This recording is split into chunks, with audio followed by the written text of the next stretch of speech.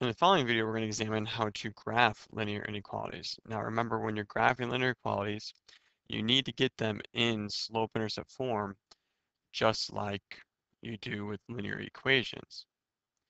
It's just now you're going to be dealing with an inequality symbol here, whether less than, greater than, less than, equal to, greater than, or equal to. The other things we need to remember is when you're graphing linear inequalities, you need to ask yourself two questions. First question is, do I use a dashed or solid line? And then the next question is, where is the solution region? And where is the solution region means you need to remember how do you shade? That is your shading. Do you shade above the line? Do you shade below the line? And so we're going to remember to ask ourselves these questions when we are going through the examples. So let's first start. Graph each function. You have 2y minus 3x is less than 6. So if I'm going to graph this one, I'm going to add 3x to both sides in order to get the y by itself, which now allows me to say 2y is less than 3x plus 6. Now I'm going to divide every term by 2. So then the 2y becomes y. And so I get y is less than 3 halves x plus 3. And so now I'm going to graph this. I have a y-intercept of 3. I have a slope of 3 halves, so up 3 to the right 2. I go down 3 left 2. I go down three left two, and then down three left two. And so now I have to ask myself these two questions. The first question being, is it a dashed or solid line? So if I look at my inequality symbol, it says y is less than. And so the less than tells me I'm going to be dealing with a dashed line. And so I'm going to graph my dashed line through all my points. So that's the first part. Next part is where do I shade? Where is my solution region? Now there are two ways to go about this. The first is the algebraic approach. So let me grab this. The algebraic approach, what it does is it tells you to test a point. And so you use a test point. Pick a point that is not on the line. And so if I look at my line, the easiest point that is not on the line is actually 0, 0. It's the easiest number to plug in. It's not on my line, so I can use it. So my test point is 0, 0. Plug this 0, 0 in for x and for y. And so I have 2y, so 2 times 0, minus 3x minus 3 times 0 is less than 6. Well, 2 times 0 is 0, 3 times 0 is 0, 0 minus 0 is 0. So I get 0 is less than 6. And so when you use a test point, you plug in your x, you plug in your y, you do order of operations, and then you look at your final inequality statement and you ask yourself, is this a true statement? Is 0 less than 6? And 0 is less than 6, so it's true. Now what that means is, that means this point, 0, 0, is in the solution region. So every point that is on the same side of this line, this dashed line, as 0, 0 is a solution. So I shade in the region where my point 0, 0 is located. And so this is my solution region. So that's the first way to do it, the algebraic way to do it. You can use a test point, look for a true or false statement. The way I look at it is I look at what our inequality statement says. And this one you need to remember is different than the way you've done inequalities before. Inequalities before, you've looked at just x being less than or x being greater than. And so you've always told yourself, well, that means I go left, you know, x greater than means I go right. And the reason why you go left and right is because you're dealing with x, and x is the horizontal variable. That's why you say left and right. But if I look at my equation now, my equation now says y is less than.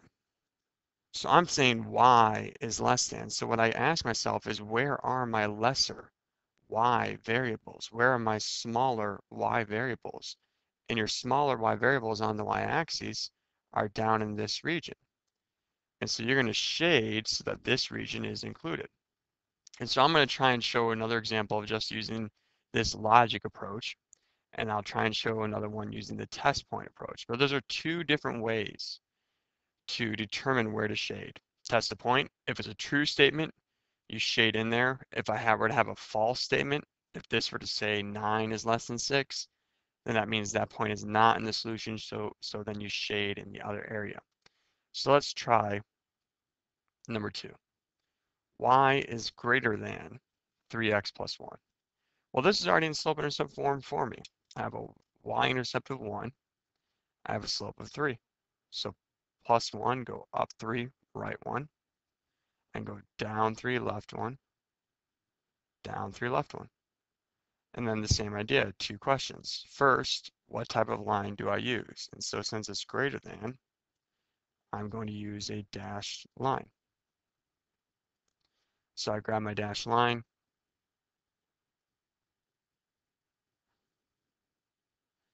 and I extend across the whole graph. And now I need to ask myself, where is my solution region?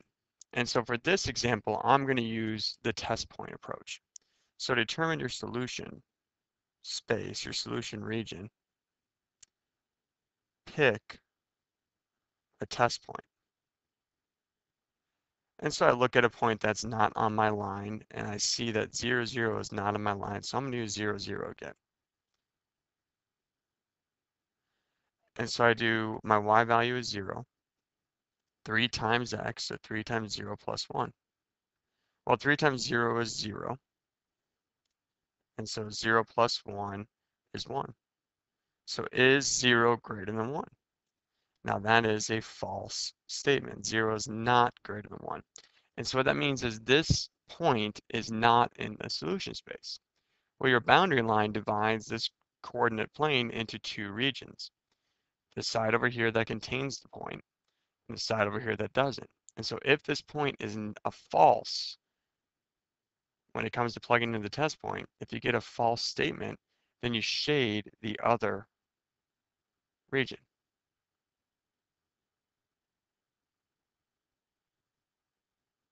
And so here is our solution region.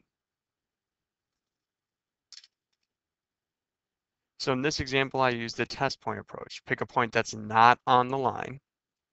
And so 0, 0 is not on the line. Plug it in. If you get a false statement, you shade in the other region.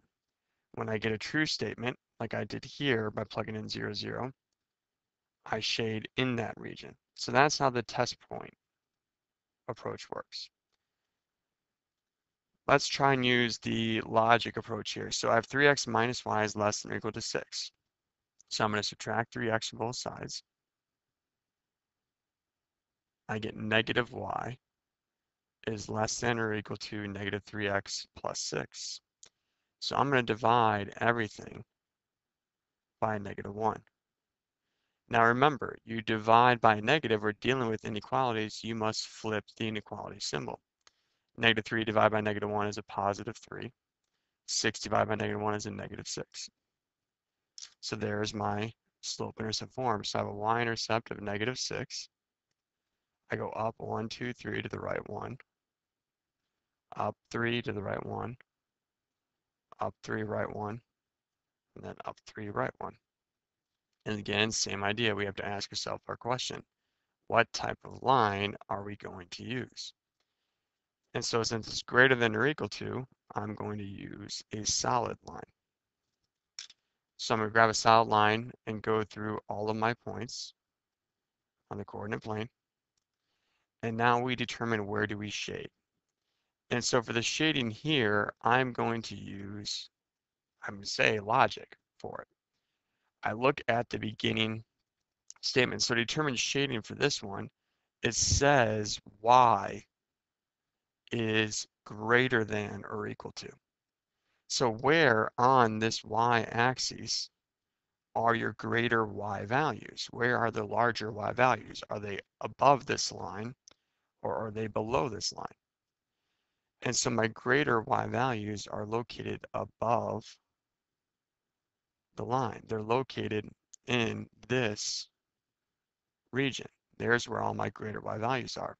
So when you dealt with regular inequalities, like I said in the beginning, you had x is less than, x is greater than, you always said left and right because x is the horizontal axis. But now your inequality reads y is greater than or y is less than. So instead of the idea of left and right, you do the idea of up or down. You do the idea of above or below. And so where are my greater y values? They're above. They're towards these greater, larger numbers on the y-axis. So I shade above my line. And so that is the logic approach on how to shade. You actually read the inequality and figure out where your greater y values are. If I had less than, where my lesser y values were. Either approach works. You can do a test point and look for true or false statements. If it's false, you shade away from the point. If it's true, you shade in the region that contains the point. Or you can read the inequality statement and know since it says y is greater than or equal to, you, you shade above because y values are up or down or you can, if y is less than, shade below, because that's where your smaller y values are. Either approach for shading works. Do whichever one you feel confident with.